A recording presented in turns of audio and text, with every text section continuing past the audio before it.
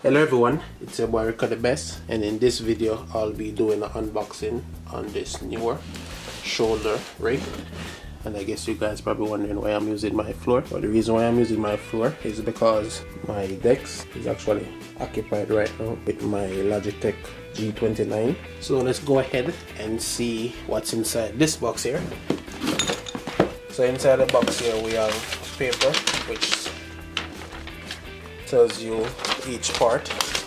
Or your shoulder rig. So it's telling you how to set it up the different parts. Also in the box we have a, another paper that says new and it tells you if you're not satisfied with your product I guess you could contact them or to leave a feedback at Amazon.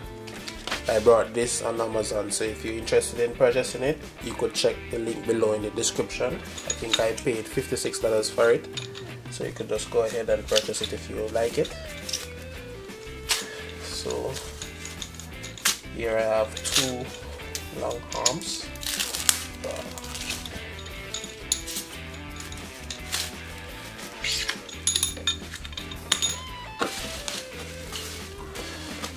And a plastic screw. I have the part in which you mount your camera on we have your cushion that you rest on your shoulder or support. And we have the handle in which you will hold for support also. And then we have this little piece. I guess this is what you'd use to extend it I believe because it carries thread on both sides. I'm just gonna go ahead and try to assemble this shoulder mount so first we have camera platform which would be this one. Second is the handles which would be this one.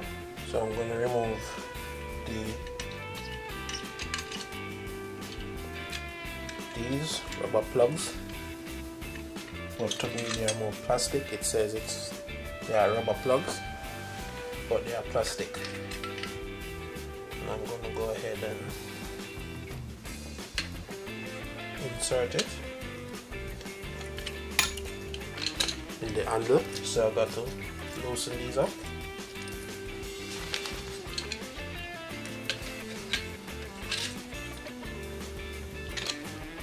And I'm gonna put back these plugs. Plastic plugs not rubber plugs. I'm not sure why they say rubber plugs but they are actual plastics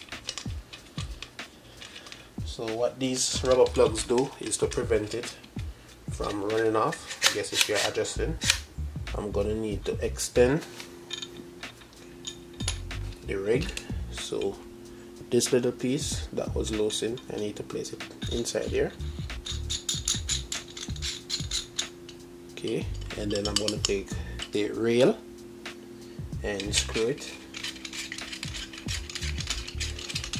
to the next one same thing with this side.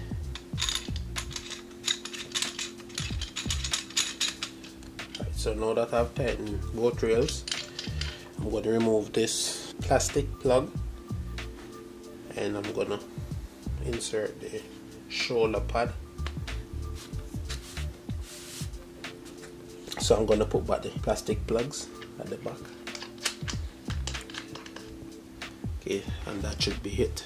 This is your Neewer shoulder mount and it carries two different sizes here for your cameras. So if your camera uses quarter inch screw and then the smaller one would be the 3 eighths. And also up top here we have level. If you're trying to get something at a level this will help you to guide you. And then all you need to do is just install your camera up top release these and then you could position it around.